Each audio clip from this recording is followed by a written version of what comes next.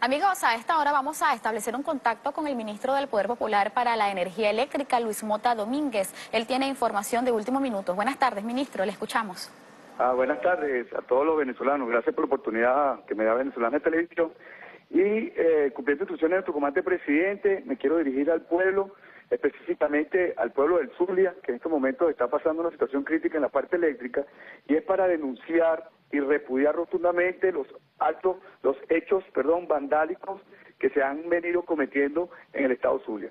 Y precisamente hoy este, se nos, nos quemaron, nos incendiaron otra estación, la estación subestación Moralito, a 40 kilómetros de Vigía. Específicamente, y queremos este, recordar que en el Vigía también quemaron una unidad que nos trajo una crisis. Y esta incendio, eh, por supuesto, afecta tanto el Vigía, el Estado Mérida, como el Estado Zulia. Yo quiero recordarle al pueblo venezolano que esta es la quinta subestación que incendian en el Estado Zulia, la quinta subestación, además de los dos cortes que hicieron en el cable sublacustre del lago. Ahora bien, nosotros estamos poniendo todo nuestro esfuerzo, el gobierno revolucionario, dirigido directamente por el comandante presidente, tanto en el sur occidente y específicamente en el estado Zulia, para estabilizar pero se hace difícil si seguimos con estas acciones vandálicas. Cinco estaciones. Este, ustedes pueden estar viendo ahí imágenes que están, se le está presentando al pueblo venezolano, eh, manos inescrupulosas, eh, todo conlleva, o, de acuerdo a las eh, investigaciones que hicieron eh, el CEBIN, Cuerpo de Bomberos, fue causada por una bomba Molotov que fue lanzada. Y, y, y repito y recalco, son cinco subestaciones en el estado Zulia en menos de tres meses. Son cinco subestaciones que han quemado en menos de tres meses y dos cortes de cable sublacustre. Bueno, aquí se ve claramente que esto es parte del plan y está relacionado con los últimos acontecimientos que ha denunciado nuestro vicepresidente Tarek El Aizane en la operación que acaban de, realizar, donde descubrieron el robo y el hurto de billetes, y la que está denunciando nuestro ministro de Relaciones Interiores, Néstor Reverol Torres, esta célula encargada de desestabilizar eh, la tranquilidad en miras a desordenar las elecciones, pues quedar claro en las elecciones. Entonces, estamos viendo que se están incrementando, como ustedes si han seguido eh, eh, el Instagram o las redes sociales, en las últimas dos semanas han fallecido tres personas electrocutadas, se han incrementado los robos, ayer se agarraron cuatro toneladas, cuatro mil kilos de cobre en cables cortados que iban hacia Colombia, saliendo por Rubio. Hoy tenemos esta acción vandálica. Entonces, un llamado a la ciudadanía un llamado a la ciudadanía para que estemos todos alertas y denunciemos cualquier situación que vean extraña cerca de las estaciones, porque este es un plan que está bien definido y que está en marcha. Esto para crear el desosiego y alterar nuestras elecciones, evitar eh, la, la victoria que vamos a obtener de nuevo la revolución, pero lo están haciendo de una forma violenta, no de una forma democrática. Entonces, el llamado a la reflexión, y repito, repudiamos todos estos actos vandálicos que se están sucediendo en el estado Zulia y en los estados andinos del país. Ministro, quisiéramos preguntarle desde el Ministerio qué respuesta se le va a dar a los habitantes del Zulia y del Vigía, tomando en cuenta de que están siendo afectados y no tienen, no cuentan con el servicio eléctrico.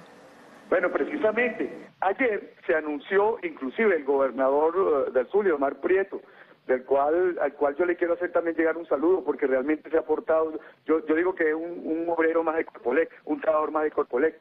Ayer anunciamos una comisión técnica que se está instalando en el Estado Zulia con todo el apoyo tanto del gobierno regional como del gobierno, el Ejecutivo Nacional, para darle respuesta a los actos de sabotaje que habían realizado en, en el cable sublacustre del lago. De hecho, ya se están haciendo las pruebas de sedimentación, eh, se había llamado a la empresa, o se ha llamado a la empresa, porque eh, es bueno que, el pueblo sepa de cómo hacen estos actos de sabotaje. Hay una parte del cable que va a cerca o pegada a las bases del puente, pues se acercan con lancha, levantan, van al sitio entre las dos subestaciones, una que se llama Peonía otra Puntiguana, y están cortando el cable. Y por supuesto, eso evita que haya transmisión de energía desde la costa oriental en Cabima hacia la costa occidental, que nosotros podríamos apoyar con energía desde tierra firme, para decirlo así, viniendo de Planta Centro, Falcón, y de ahí sacarla hacia la costa occidental. Si hay corte de estos dos cables, no sé si recordarán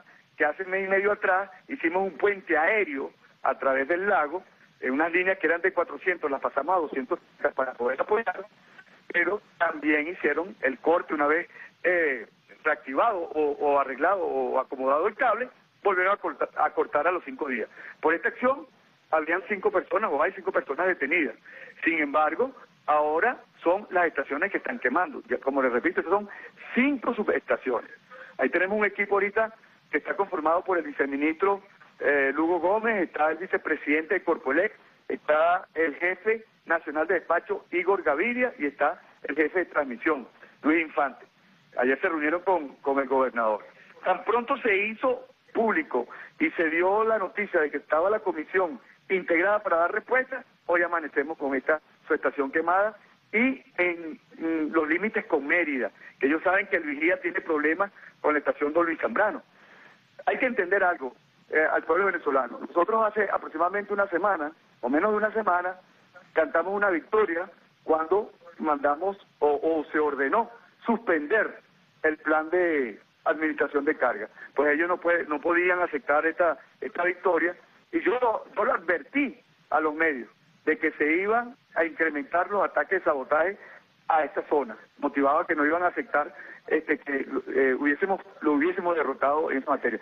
Sin embargo, podrán estar atacando una y mil veces y va a tener un gobierno aquí dispuesto a dar respuesta una y mil veces. No nos van a vencer y no van a lograr crear el caos ni el desasosiego a nuestros próximos comicios. Bien, escuchamos entonces declaraciones del ministro del Poder Popular para la Energía Eléctrica, Luis Mota Domínguez, quien ha denunciado y ha repudiado hechos vandálicos ocurridos en el estado Zulia.